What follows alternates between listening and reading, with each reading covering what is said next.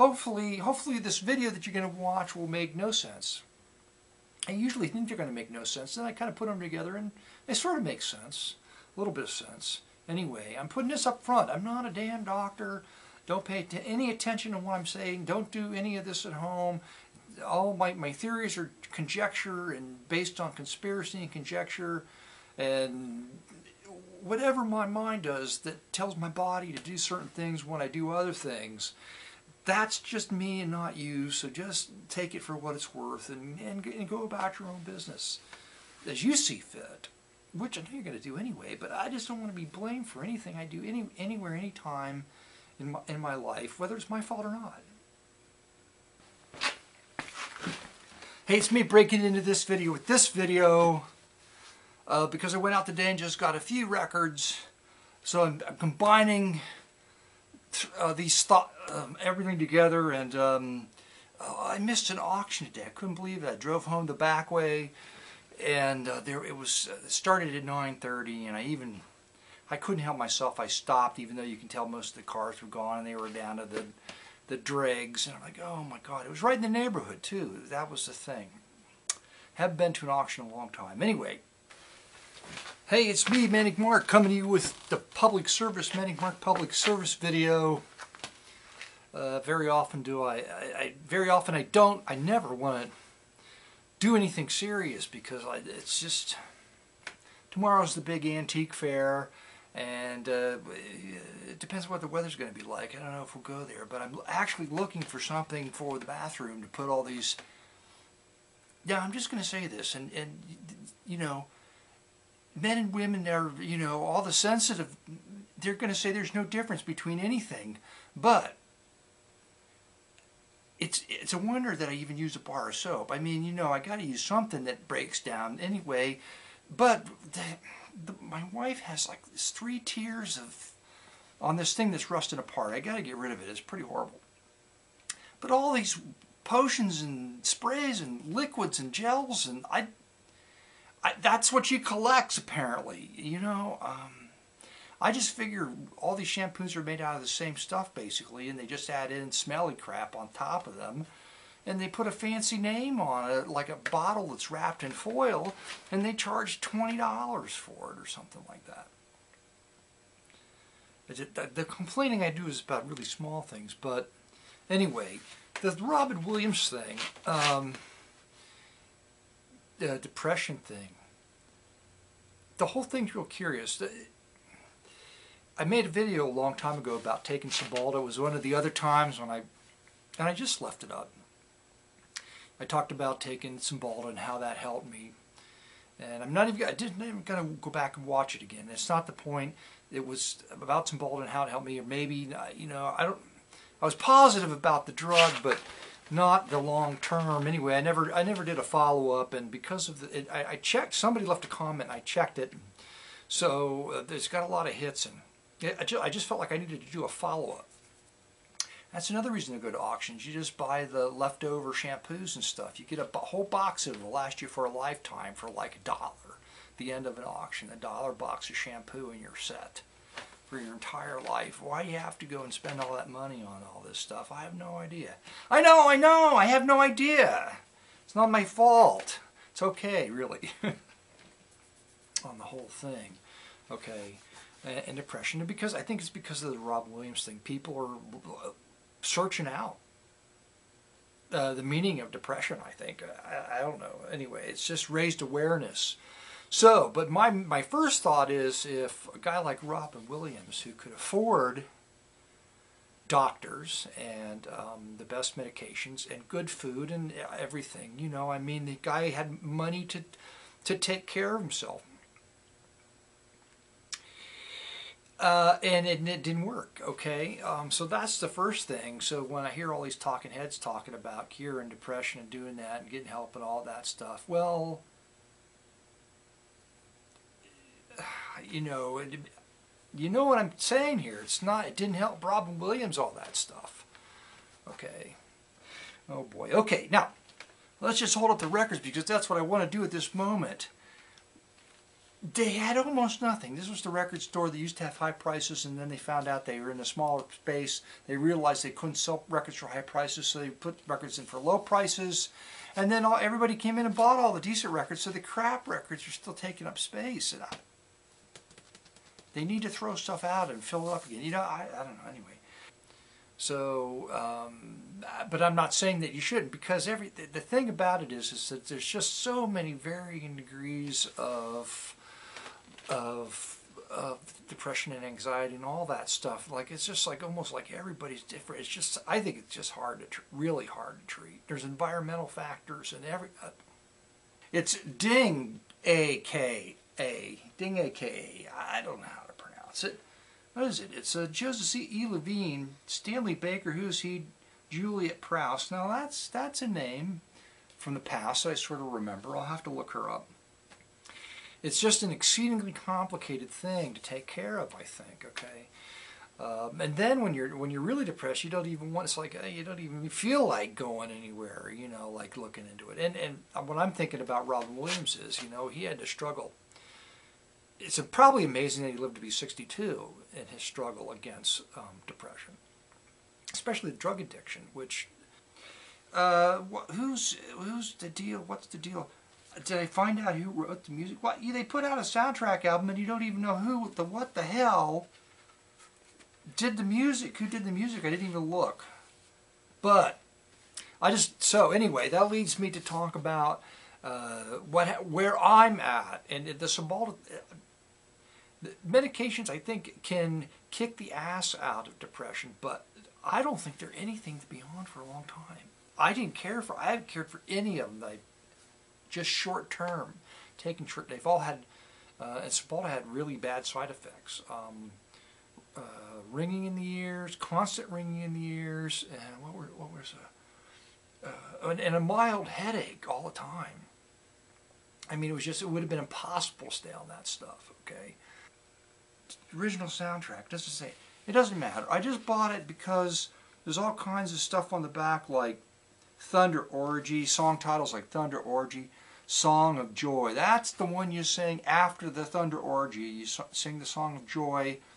And there's uh, funeral drums and tribal prayer and uh, um, and there's, so there, and there's you know other people have long term bad long term stories anyway. I don't like taking anything, but uh, over the course of the past couple of years, um, what I have found that has um, had benefit has benefited me has been herbal regimen. And I've always been like, oh, that stuff, and I've tried other, you know, that stuff can't possibly have any effect. Well, I think it does. So I'm going to run it by you. What I I started with this, I think is the key right here. I don't know, you know, you just gotta have hmm. a tribute to James Dean. It was a dollar. I picked it up. There's James Dean. It's not a very good picture James Dean at all. Oh my God. They wanted to get him with the scowl on the face, but you can't see his eyes or anything. He's like, look at that. There's look at his. There's no eyes. James Dean was blind, and they used computer-generated graphics back in the 50s to make him look like he had eyes. That's how they got away with it. Anyway, that's not true. That's the key. 500 milligrams, 120 capsules. And then I expanded it. I added on this later on, valerian root. And this is also classic uh, uh, lithium ornate, oronate. It's classic. Now, I first started with this and there was nothing. And then years later, um, it was suggested that I try this from somebody else who swears by it, okay? And then this was also added in. But this, there's one study I read that describes depression as causing swelling in the brain, and this is a, a natural um, anti-inflammatory, which it's, it's mentioned in, in, the article along with the depression. So there's something, somebody studied it, and so there's some reasonable back, scientific backup for this kind of stuff, I think.